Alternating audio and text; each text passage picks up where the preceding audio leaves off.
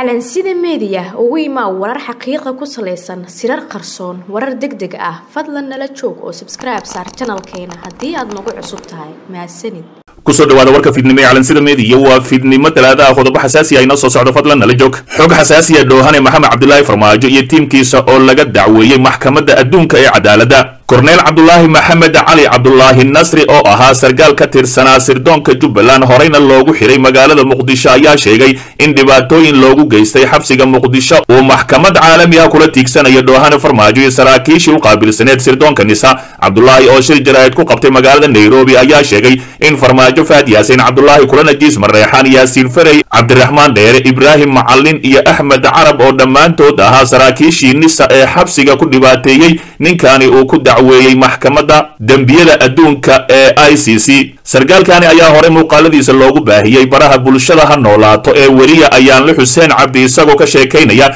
tacadiyadii ay nisa ugu geysatay godka jilicow ee magaalada muqdisho isagoo sheegay in lugihiisa uu naafo ka yahay. Sidoo kale korneyl cabdulaahi wuxuu sheegay in qorshihii koowaad ee maxkamadda i c c uu caddaymaha dhibaatadii loo geystay u gudbiyey uu meel fiicanna u marayaan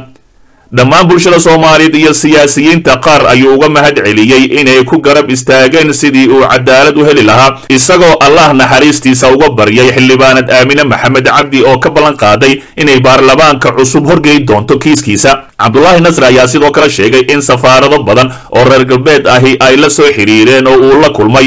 waxaana ka codsaday inay cadaaladda igu garab istaagaan anigoo sarkaal soomaaliyeed ahi oo laygu dhibaateeyey awooddii dowladnimada ay iyagu taageeraan ayuu yidhi cabdulaahi nasri. Si kastaba ha ahaatee cabdulaahi nasri ayaa caddeymo xooggan geeyey maxkamadda adduunka ee dembiyada islamarkaasina dhowhane maxamed cabdilaahi farmaajo iyo tiimkiisa ayaa maxkamad la soo taagi doonaa xaaladiisana meel fiican ayay maraysaa. Waa uuna ku faraxsan yahay in maxkamadda ay aqbashay kiiskiisa dhinaca kale waxaa mar kale fashil ku yimid jadwalka uu shaaciyey guddiga doorashada jubbaland ee ku aadanaa qabashada doorashada kuraasta garbahaaray ee xarunta gobolka gedo oo ah deegaan doorashada labaad ee maamulkaasi. Guddiga ayaa shan iyo tobanka bisha maars ku dhawaaqay in afar iyo toban cisho gudahood lagu qabanayo doorashada kuraasta. Wakhtigaasi oo maanta ku eg mana jirto ilaa ayaa hadda wax ka dhaqangalay go'aankaasi oo lagu wajahayo doorashada ka dhacaysa degmada garbaharey sababta ugu weyn ayaa ah in weli halkeedii ay tahay dooda haraysay doorashada kuraasta taas oo u dhexaysa jubbaland iyo maamulka gedo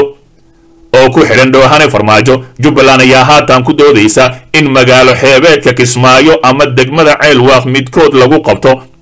doorashada halka maamulka gobolka gedo uu ku adkaysanayo in doorashada loo dhaafo halka lagu heshiiyey oo ah garbaharey ilaa iyo hadda ma muuqata wax isku dhowaansho ahi mana cadda xilliga rasmiga ahi ee la qabanayo. Doorashada kuraastaasi oo murankooda uu soo jiitamay tan iyo laba kun iyo labaatankii. Sidoo kale caqabadaha ugu weyn ayaa ah xal u helista kuraasta garbaharey maadaama labada dhinac aysan muujinaynin wax tanaasul ahi dhinaca kale madaxweynaha galmudug axmed cabdikaariyo qoorqoor ayaa shaqadiisa dib ugu soo celiyey wasiirkii arrimaha gudaha galmudug cabdi maxamed jaamac cabdiwaayeel madaxweyne ku-xigeenka maamulkaasi cali daahir ciid ayaa sagaal iyo tobankii bishii mey ee sannadkii hore xilka qaadis ku sameeyey wasiir cabdiwaayeel xilligaasi oo u socday qorshe golayaasha deegaanka loogu dhisayay degmooyinka galmudug. Madaxweyne qoorqoor ayaa faray dhammaan hay'adaha kala duwan ee galmudug inay la shaqeeyaan wasiir cabdiwaayeel si howsha wasaaradda u guto cabdiwaayeel ayaa sannadkii hore xilka looga qaaday isqabqabsi ka dhashay dhismaha golaha deegaanka ee degmada balanballe waxaana xusid mudan in degmadaasi ay ku loolamayaan laba beelood kuwaasi oo dagaallo dhiig badani ku daatay ku dhex maray warqadii xilka looga qaaday wasiir cabdiwaayeel waxaa lagu sheegay in sababta xilka looga qaaday ay tahay gudasho la'aan waajibaadkiisii shaqo iyo horinta colaad beeleedyo deegaanadaasi ahi. Maalin ka hor inta aan xilka laga qaadin wuxuu soo magacaabay golaha deegaanka degmada balanballe tallaabadaasi oo beesha ayaanle ceyr ay aad uga soo horjeesatay ayaa la aaminsan yahay inay sababtay xilka qaadistii wasiirkani dib loogu celiyey shaqadiisa. Fadlan dib u daaw wararkeenii hore ee calansida meediya xog xasaasiya madaxweynihii hore ee soomaaliya sheekh shariif sheekh axmed oo arrin halis ah ka digay islamarkaasina afka furtay sheegtayna in si deg deg ah madaxweyne cusub loo doorto. Musharaxiinta qaar madaxweynaha u taagan oo dhaqaale la'aan soo wajahday sheekh shariif sheekh axmed ayaa waxa uu ka hadlay arrimo xasaasi ah waxa uuna yidhi dalka waxa uu ku jiraa xaalad halis ahi oo aan la dhayalsan karin. Waxaa la ogsoon yahay amni darrada baahsan ee ka jirta waddanka iyo sida hay'adaha amniga ay uga guul daraysteen sugidda amniga iyo gudashada waajibkii loo igmaday sidoo kale hay'adihii dhaqaalaha ee dunida sida i m f iyo w b waxay walaac ka muujiyeen. Raadixumida ay reebi karto jiritaanka doorashada oo ay ugu horrayso kow in la hakiyo deeqihii lagu kaabi jiray miisaaniyadda dowladda ama dalka. Laba in hanaankii dayn cafinta uu galo hakada ama dib u dhac xooggan soo kaabashadiisu ay qaadan doonto muddo aad u dheer. Sidaa awgeed waxaa lagama maarmaan ahay in si deg deg ahi loo qabto doorashada guddoonka baarlamaanka iyo madaxweynaha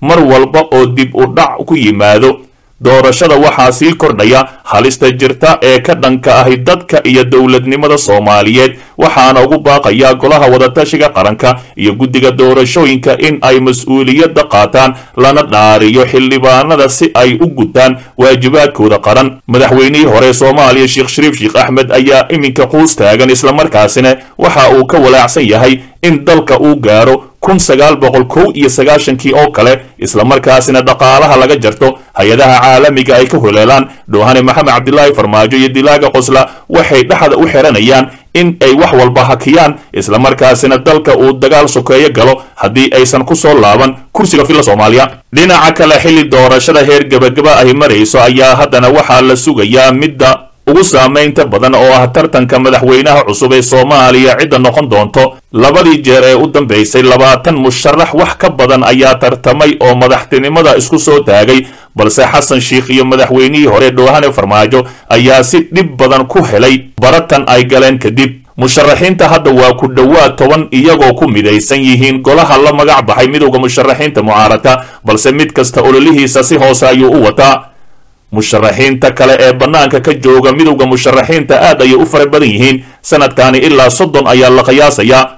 warbaahinta ayaa ogaatay ilo wareedi lagu kalsoon yahay oo ah in qaarkood musharaxiinta ay waayeen ilihii dhaqaale ay ku tashanayeen haddana ay u dhow yihiin inay ka haraan tartanka. Inkastoo magacyadooda aan la wada helin haddana waxaa ku jira kuwa saamayn ku dhex leh midowda musharaxiinta islamarkaasina ay hamigoodii dhaqaale la'aan uga hari karaan sheekh shariif sheekh axmed saciid dani xasan sheekh maxamuud iyo dhoohane farmaajo waa inta musharax ee ilaa iyo hadda ishuba in ay tartanka u galaan. Waxaase iyaguna shaki gelinaya hankooda xasan sheekh cabdiraxmaan cabdishakuur warsameeye daahir maxamuud geele ra'iisul wasaarihii hore soomaaliya xasan cali khayre oo bil ka hor soo shaac baxday inuu haysto aqlabiyad badan iyo kalsooni in xilka uu heli karo. Ayaa maalmihii dambe laga waayay masraxa ololaha doorashada maadaama lacag xooggan looga dhacay dalkaasi kenya dib u milicsiga siyaasadda soomaalida cabdirashiid cali sharmaarke ra'iisul wasaare ayuu soo noqday. Cabdiweli cali gaas ra'iisul wasaaraha soomaaliya ayuu soo noqday. Markii dambena madaxweynaha puntland ayuu noqday.